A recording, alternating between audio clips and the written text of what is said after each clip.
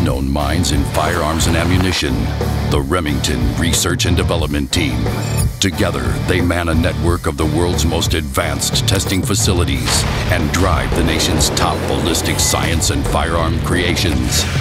There are some things we can show you, and some things national security dictates we can't. Staff members you can meet, and others most of the free world never will.